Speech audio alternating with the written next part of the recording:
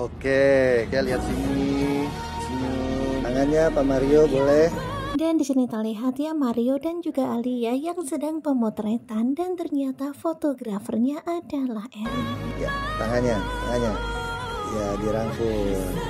Dan kalian juga bisa melihat ya bagaimana Alia yang sepertinya saat ini di kepalanya penuh dengan tekanan. Aku nggak boleh ngecewain Mas Mario.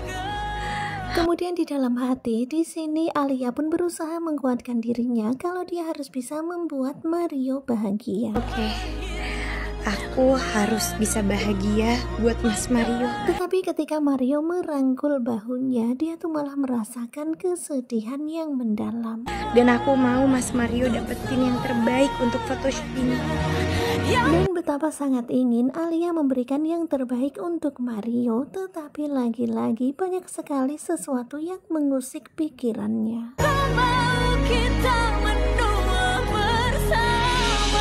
terlihat ya tiba-tiba Alia menangis. Tentu saja di sini Mario pun jadi kaget ya ada apa dengan Alia. Kamu kenapa? Kenapa Alisa malah nangis? Ada apa sebenarnya sama Alisa? Dan tentu saja Erik juga heran ya ada apa dengan Alia sebenarnya. Kenapa di pemotretan prewedding ini justru Alia terlihat sedih. Tempat dia itu di Bromo, bukan di samping Mas Mario. Kamu pikir pernikahan kamu Dan sepertinya di sini Alia tuh terus terngiang-ngiang kata-kata Alisa. Ya memang kata-kata Alisa sangat mengganggu pikiran Alia. akan sah secara agama dan hukum gitu. Akhirnya Arya, aku bisa milikin kamu seutuhnya. Dan tentu saja Alia tuh saat ini berada dalam dilema karena dia belum jujur pada Mario. Aku terus percaya Sementara itu terlihat ya Aris yang tiba-tiba datang. Kemudian di sini Alia menemuinya. kamu akan balik ke aku. Kamu ditakdirkan buat aku. Dan kalian bisa lihat ya betapa percaya dirinya Aris dia berkata-kata seperti itu kepada Alia.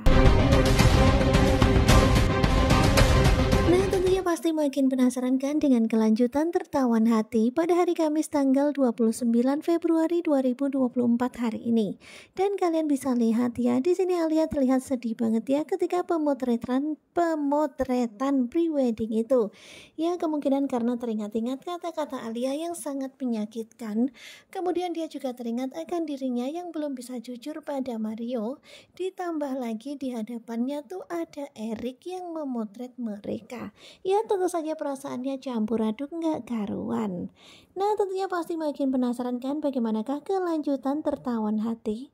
Simak kelanjutannya hanya di SCTV dan jangan lupa terus dukung Gugu Coba. Terima kasih buat kalian yang selalu setia dan jangan lupa nantikan video selanjutnya. Terima kasih dan bye-bye.